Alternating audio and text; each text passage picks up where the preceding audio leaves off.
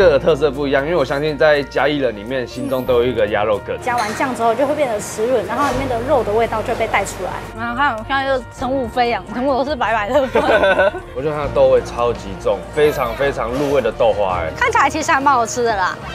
那汤头好喝哎。你知道绿豆是哪里人吗？嘉义人，谢谢。我们今天就是来到嘉义，你答对了，非常好。这太简单了。今天我们来到嘉义呢，我们来找一下嘉义的铜板美食。没错。而且我们现在的位置呢，就是在一个非常在地的地方，我们在九天宫的前面。嗯。因为我们第一家非常非常厉害，就是鸭肉羹。因为来到嘉义啊，我觉得鸭肉羹算是一个必吃的东西。对。每一家鸭肉羹呢，它的味道都非常非常的独特，就是跟我们彰化的空骂本一样啊。所以我觉得来这里一定要吃吃看，在地人推荐鸭肉羹。而且呢，我今天有准备了很多铜板美食，我们今天呢全部去给它收刮起来。要不要再来算一下，我们今天会花多少钱？如果一个人的话，我抓个三百。上次我们去台南，一人花不到两百。我们今天在嘉义，因为吃比较多间，我多抓一百块。好，合理吧？可以，走吧。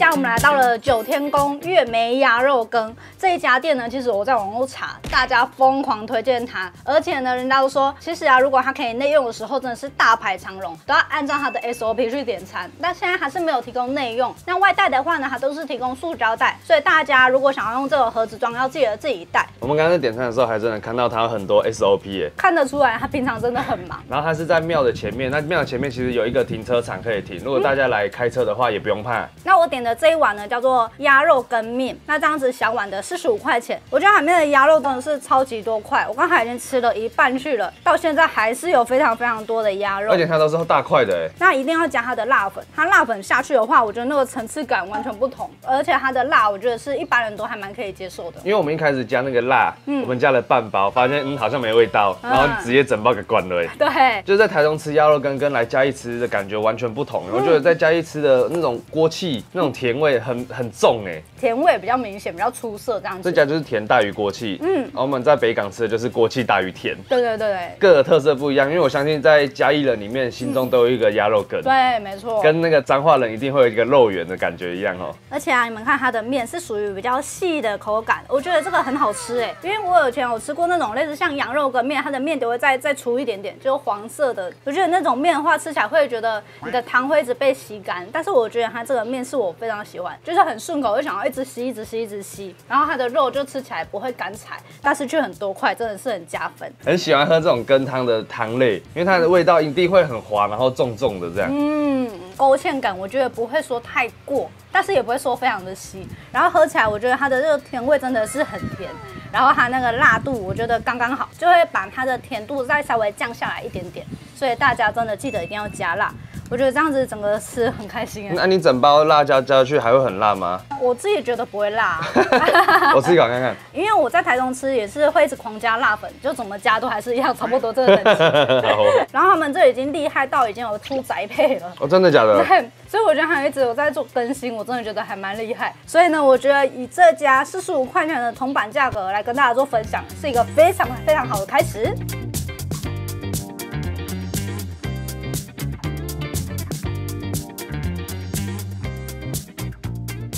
们现在来到了城市姐妹蒸饺，我们现在已经吃到剩下三颗了。自从我上次吃完鼎泰丰之后啊，大家都教我说一定要加姜丝。嗯，我现在就是只要有蒸饺，先加酱油，再加姜丝，然后一口塞。哎，其实我们很少吃蒸饺，哎，我们大部分都是去吃汤包啊、小笼包啊什么的，很难得会吃到的东西，因为这家实在是生意太好了。而且这家的蒸饺，我觉得它口感蛮多，有高丽菜，然后跟韭菜跟猪肉，它是三个合在一起的。你一次吃进去就可以吃到三种口感，还不错。而且我觉得它一定要加酱。我第一次吃我没有加酱，我就觉得好像有点干干的。加完酱之后就会变得湿润，然后里面的肉的味道就被带出来。然后他们这边都是手工现包的，就是我们现在的我的正对面，嗯，就是一堆人在包。然后你们看它的大小都不太一样，不过我觉得这很棒，这是特色。我们这样子一笼四十五块钱，也真的是铜板价哎。然后我们还要点他们的酸辣汤，酸辣汤也是他们这里的招牌。刚来的时候就先点一笼蒸饺，然后我们走进来发现这里每一个人的桌上都一碗酸辣汤，嗯，好像都来了，不吃又怪怪的。幸好我没有点，因为我刚才喝起来我真的觉得很浓，而且它里面的料给的好多、哦。你看这绿色是一般看不到的，那个好像是葱段。重点是它的味道呢，喝起来我觉得是比较偏酸，嗯然后胡椒味是比较重一点点。他们在那个门口控那个酸辣汤一大锅，对一直控一直控的，一定很香啊。我们刚刚有没有想说要拿号码牌？他说拜托你先不要拿，里面刻满了。超好笑的 现在已经是下午两点的时间了，还这么多人，真的是有他一定的实力。可以，我觉得这两个特加起来很满足。对，这特给你，不然啊每次大家都说我都帮你吃光。真的哎，你终于良心发现了。不是啊，大家要想一下，你看哎我刚拍的时候剩们想要给你解，释哎。下一家我们来到了大球咖，这家店是我期待很久的，因为我最喜欢吃粉圆冰了，而且我看到本人。哦，你说那个北北是本人吗对？对对对对，很可爱哎。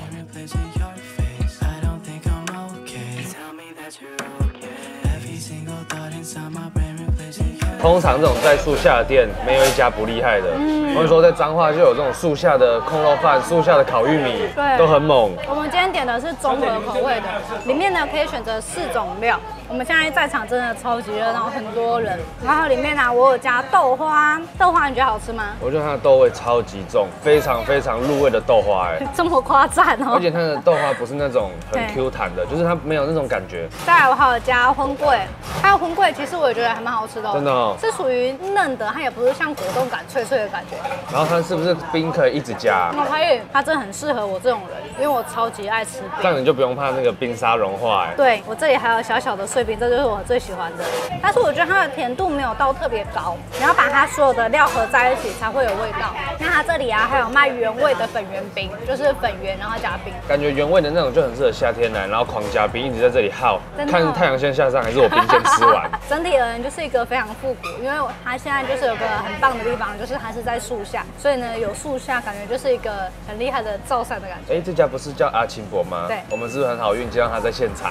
这里有摊少年时候的照片，嗯然后现在是他的现在的样子，所以我觉得整个对比起来很有故事。真的可以加冰吗？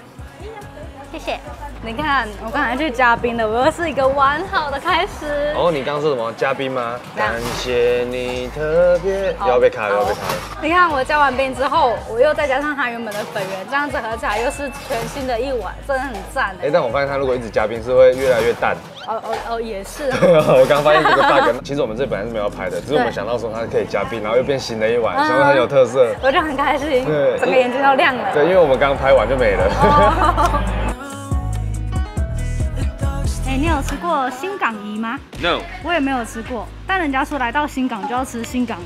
然后他这家店啊，是从清光绪十七年，就是西元一八九一年。清光绪是清朝，所以大家还要绑辫子哎。哎呀，这这这是重点吗？新港梨跟水果梨差在哪里啊？这个是麦芽，然后花生、面粉下去做。那这个是糯米跟麦芽，所以口感是不太一样。好，这家新港一呢，它真的是百年老店，它从清朝就有了哦，真的很强哎，它已经第五代了啊。吃吃看。那我们刚才有非常多种口味，嗯最后呢，我们选择新港怡，就是它本身的名字这样子。哦你看起来是软的，对不对？对它是有点硬度的。看，我刚才摸的时候，它外层是软的，没错。哎、哎，跟你想象的不一样，对好？像又变有点硬了。那这个味道吃起来就是花生麦芽糖，它花生味比较重，但它没有麦芽糖那么黏。不过它是用麦芽做的，没错。我很好奇，为什么你刚才最后不选水果的？因为想说来到新港了，吃一下招牌新港怡，所以如果综合水果它的名字叫新港怡，你就会选那个。综合新港水果怡，我就会点那个。所以就是名字的问题就对了。跟我以前吃过的花生糖的味道不太一样，因为它外面那层有点太重了，所以吃起来很妙。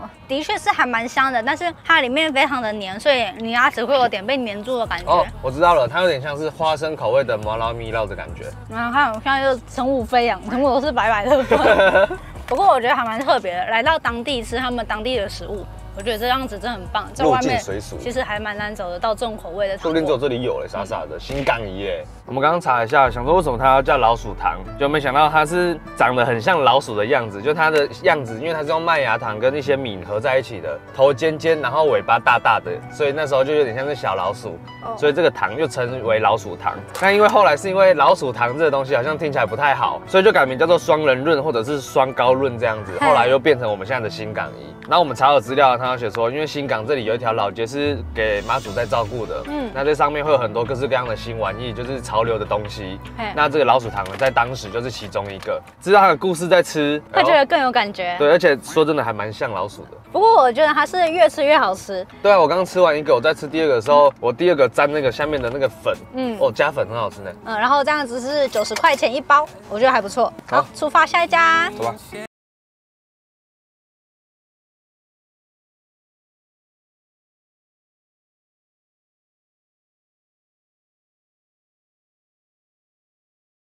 油饼，这个饼皮我可以，你可能会觉得很硬。我先跟你讲，它吃起来不像那个葱油饼，对不对？它炸的时间好像有点久，对不对？因为吃起来是真的有点偏硬，这种硬度是还可以接受的。但是有点甜，你有发现吗？对，它里面有加一个甜甜的酱，然后还有它加的辣椒，它的辣椒有辣，真的假的？哦，那我刚没吃到辣椒。嗯，可是它的辣是我还蛮喜欢的。它的葱油饼不太会有什么哦，这吃起来怎么那么辣？我第一次有这种形容词。然后它里面呢有刷大概两三种酱，我刚刚在旁边看，而且它里面很特别，还有加小黄瓜，第一次吃到加小黄瓜的，对，然后它还有另外加葱上去，它是额外放的。你有咬到蛋的吗？还没。有我觉得你要咬的时候一定要小心，好。我很怕跟花莲一样爆出来。它这个蛋它也是半熟蛋哦。哦，他刚刚在做的时候啊，它是饼皮先炸好，嗯。然后蛋再另外炸，所以它两个东西不是一起做的，没错。它是最后再把它合起来，嗯像饼干一样。嗯，看然后我们刚刚看到后面有类似学生的客人，哦，流出来了，好吃。加蛋就厉害了哈。而且你看，我刚刚说它葱是另外放的，它就放在这里面。嗯然后还有加那个小黄瓜，第一次吃到葱油饼里面会加小黄瓜，哎，它这样子吃起来会比较清爽的感觉，会让你变得有点像是汉堡里面加小黄瓜的那个作用。因为可能大家在看影片的同时会觉得，嗯，我们葱抓饼加小黄瓜可能会觉得怪怪的。不过你用汉堡这个解释，我觉得我就可以接受。嗯哎，如果我是看影片的人，然后它里面的酱我真的觉得还蛮推荐的，甜甜的酱，但是又搭配上它的那个辣椒，所以会有种也是双酱感。哦，这家我觉得是还不错的，下次来嘉义大家可以来吃吃真的。可以来，下次吃双蛋看看好不好？可以可以，而且它那里还有那个皮蛋口味的，然后还有玉米口味，还可以加 cheese，就是各式各样可以让你加。那我们今天这样子。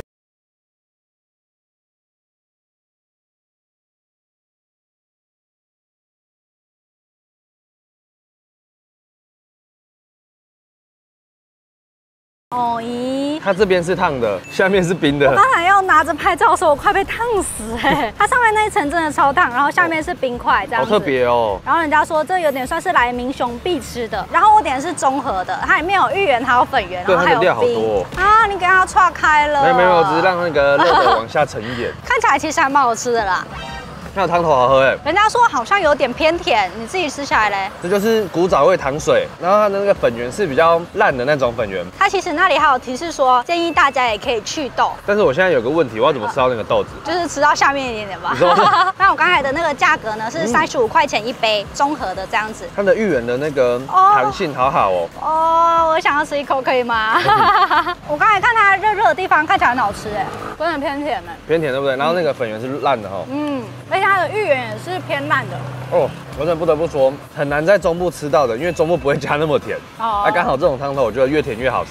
但是我觉得它的芋圆本身也没有甜度，就是那个番薯圆跟芋圆没有味道，它的那个弹性是有的。对，它是有弹性还。是因为它整杯太甜，所以我们吃那个没味道。就是它的芋圆，它外层它是属于软软烂烂的，但是它其实咬到它的内心，它又是有一点点弹度的。真的哎，你觉得这样子整体而言，你会调甜度吗？因为我刚才是没有调甜度的。我觉得这样可以。我看网络上的大家他们都说建议可以调成微糖或是少糖这样所以我们。算算是正常嘛，我觉得正常可以。大家可以先喝正常看看，对下次买觉得太甜的话，你再做调整嘛。反正你的豆挖起来的话，那个糖就会被稀释掉，因为豆本身它不带甜。那我们这样子一杯呢，综合的是三十五块钱，铜板价，我觉得还蛮便宜的哎。我觉得三十五块钱 CP 值很高，因为它的料真的超级多。那一样跟大家稍微快速统整一下我们今天吃的内容。没问题第一家我们吃的是九天宫月梅鸭肉羹，蛮甜的，我会喜欢。而且啊，我觉得它的锅气虽然没有到特别的重，不过我觉得其实还蛮刚好的。然后它加辣，那如果呢，他现场啊会有很多人的话，大家要稍等一下，要按照他的 SOP 去做。对对对再来呢是城市姐妹蒸饺，好吃哎，因为它最后是三个口味加在同一个蒸饺里面，嗯然后一定要点酸辣汤。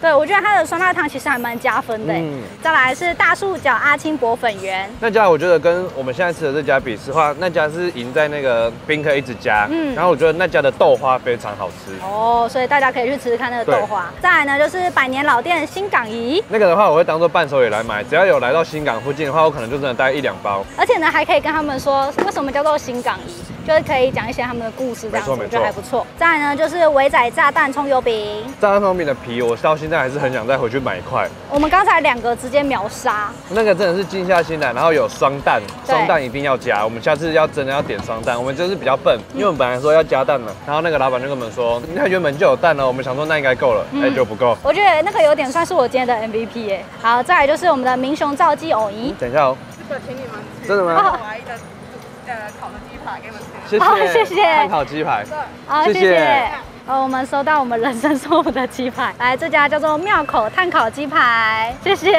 完全没有想到。对，这家赵记藕泥，我觉得甜度刚好，嗯然后藕泥的味道，你们要等它融化再吃，比较吃得出它的感觉。而且我觉得它的 CP 值还蛮高的，很高，我到现在还没吃完，我狂挖哎、这 样三十五块钱。那接下来呢，就是我们的鸡排，感谢他。谢谢。最后呢，有个好消息要跟大家分享一下。没有分享哎 好了，它现在呢有一个试吃嘉义的活动，二零二二年的嘉义县美食开张了。美食影片竞赛即将热烈展开，我跟你们说，这次主办单位非常厉害。嗯它除了有什么人气王奖啊，很多奖项之外呢，它的总金额奖金的金额哦，高达十五万元。第一名我记得就五万了。对，超有兴趣的。而且这次报名的格式非常简单，你只要是一个画面清晰的影片就可以，它没有管你用什么拍，你用手机拍也可以。嗯然后在影片的角落放上主题 logo，之后呢上传 YouTube 不公开，把网址拿去报名就可以了。对，这样很方便欸。非常简单，哎、哎你只要来这里吃美食，想要当 YouTuber，想要拍影片练习的，就拿去报名，说不定你就中奖了。你可以吃美食，还可以拍影片，还可以试试看。没错，我觉得这样真的超级棒的。等那个时间过后，我再发布这支影片，然 后我先去报名。然后先得五万块是吗？也不一定会得，说不定很强哎。对啊，你以为你是谁对啊，啊？我可能参加一个那个参与奖就可以了。反正呢，我觉得我今天来到嘉义县吃美食，真的超级开心。对，而且我们这全部都是铜板小吃，超级满意的。还有遇到热情的人生，噔噔，碳烤鸡排，庙口的，注意是这个庙。没问题，没问题。谢谢，拜拜。拜拜。如果你也想成为下一位爆红创作者，请打开下方资讯栏链接，一起来投稿吧。